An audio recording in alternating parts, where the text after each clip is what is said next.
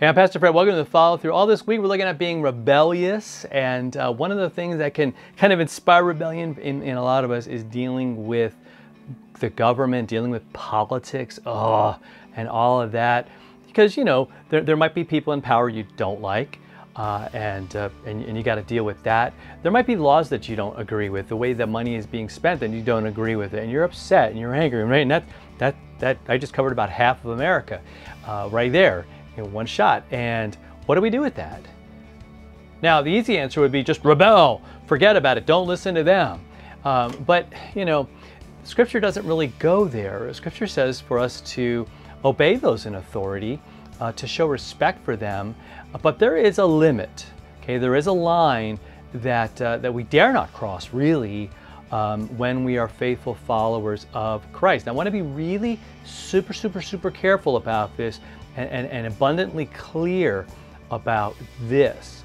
Uh, that the line you can see pretty clearly in Acts chapter 5, verse 29. Now, these were the apostles, and, and Peter was there, uh, and, and they had been arrested, and they were brought before the council, before the high priest. They were being questioned, and, and they were saying, Look, we told you, we strictly told you not to preach about Jesus. And here you have, you filled, he says, you filled Jerusalem with your teaching. And you, and you want to bring the blood of Jesus upon us. So stop preaching about Christ. Now that's the line. That's the line right there. When, when, when our government says, hey, you can't talk about Jesus. You can't proclaim His love, His forgiveness, His his, his incredible unconditional love that he's given to you. And we, when the when the world says, "Hey, we can't, you can't allow you to do that anymore," then then, then we can't we can't go with that. You know what I mean? We, we have to say no. We have to say no. I'm going to listen to God.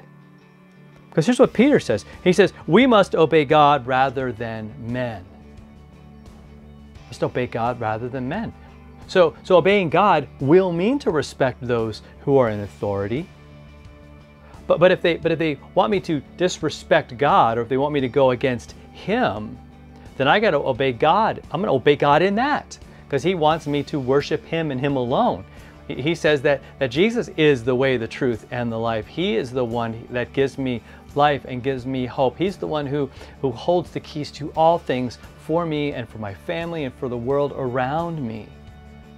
And so if, if anyone in, uh, in any like position of power says you can't talk about that, you can't share that with somebody, you can't tell that to somebody, right? You can't be about that in your life. In fact, if, if they were to say, look, you have to renounce all of that, then that's when we have to go, look, I'm sorry.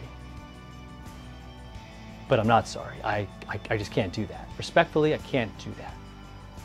I'll respect you in terms of speeding on the road. Uh, I'll respect you on all those things. And if I cross the line on those, yeah, I'm gonna I'm gonna deal with I'm gonna pay my ticket, my traffic ticket, or whatever it is. But when it comes to preaching about Jesus and, talking about Him, man, that only benefit that only benefits everybody.